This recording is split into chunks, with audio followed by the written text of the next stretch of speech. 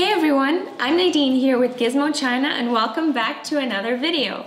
So in 2019, Xiaomi released their smartphone lineups into two different brands, or two brands, the Xiaomi brand and the Redmi brand. Yep, so we are talking about their latest models, the Xiaomi CC9 Pro and the Redmi K30. The CC series focuses on camera performance while the Redmi K series were known as high performance in all dimensions. Though the latest Redmi K30 did not include the Pro model, but both the K30 and CC9 Pro took great effort on building their camera sets. The K30 equipped the latest Sony IMX686 sensor, which will be a major selection for the upcoming 2020 flagship models, while the CC9 Pro has a 108 megapixel Samsung camera, which is the only mobile camera sensor features over 100 megapixel resolution. And the K30 has a 4 camera setup while the CC9 Pro is surprisingly equipped with a 5 camera combination. So we're pretty curious about which camera combinations work well in daily use. So in this video, we're going to compare these two models and find out what makes them different from each other. Let's look at their camera combinations. On the back of the Redmi K30, there is a 64 megapixel primary camera with the Sony IMX686 sensor, a 2 megapixel depth camera, an 8 megapixel wide angle camera, and another 2 megapixel macro camera. For the CC9 Pro, the top one is a 10 times hybrid optical telephoto camera, following with a 12 megapixel portrait camera, a 100 megapixel primary camera, a 20 megapixel super wide angle camera, and another macro camera.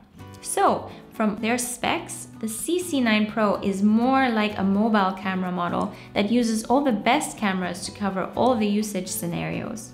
And the highlight of the K30 is more focus on the debut of IMX686, the upgraded IMX586 sensor. Let's talk about the photos shot by their primary cameras. From the samples, we found that the samples of the Redmi K30 have pretty true color reproduction. Though it got a bit blurred for noise reduction, the 64 megapixel IMX686 still provides great resolution and reserves rich detail while the samples from the CC9 Pro reached a pure image with a cooler color representation and a relatively higher saturation. If we turn the Auto HDR on both models, samples shot by the CC9 Pro looks more emotional. As for the wide-angle camera, we have to notice the fact that the CC9 Pro equipped with a 20 megapixel sensor, which imposes higher costs and theoretically would lead the race in this part. Well, the results did prove a gap between these two models. For wide-angle photos of the K30, a problem is the poor noise control, even as we shot it under good light conditions. And due to the 8 megapixel resolution, it's not as detailed as the photos shot by the CC9 Pro. It's no doubt that the 20 megapixel resolution on the CC9 Pro is much better for producing pure images with vivid colors and high image quality.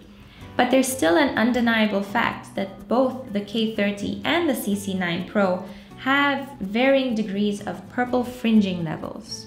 There is another macro camera on both the CC9 Pro and K30, which could shoot super close subjects at around 2 centimeters.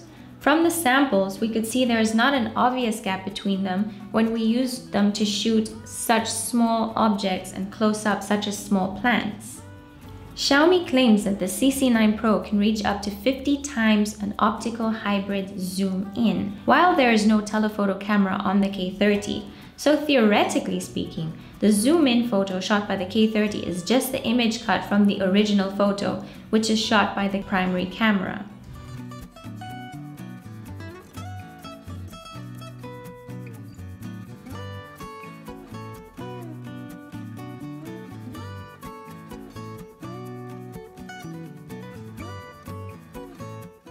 Since 2018, almost all smartphone brands have been working to improve their night shooting. So now in this day and age, it's become one of the most important features to review smartphone cameras.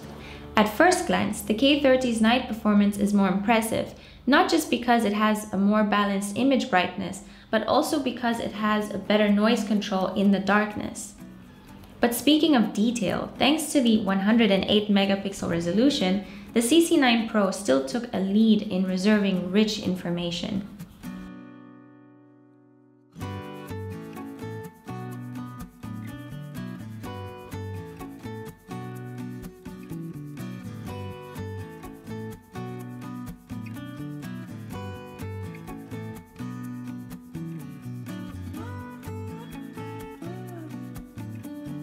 Talking about the high resolution, these two models are equipped with top level sensors.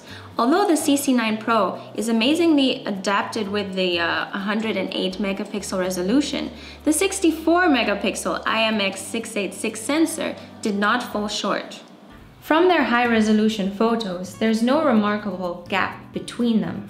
However, we found it's more diverse on their software tuning, including color style and image pureness and no doubt that these two sensors will be the main choices for most 2020's flagship phones.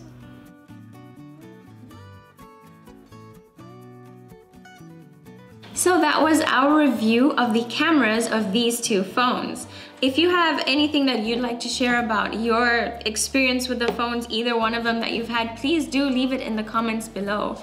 And so we've come to an end. Hope you enjoyed the video. We hope to see you in the next one. If you enjoyed the video, please do give it a thumbs up and hope to see you next time. This is Gizmochina.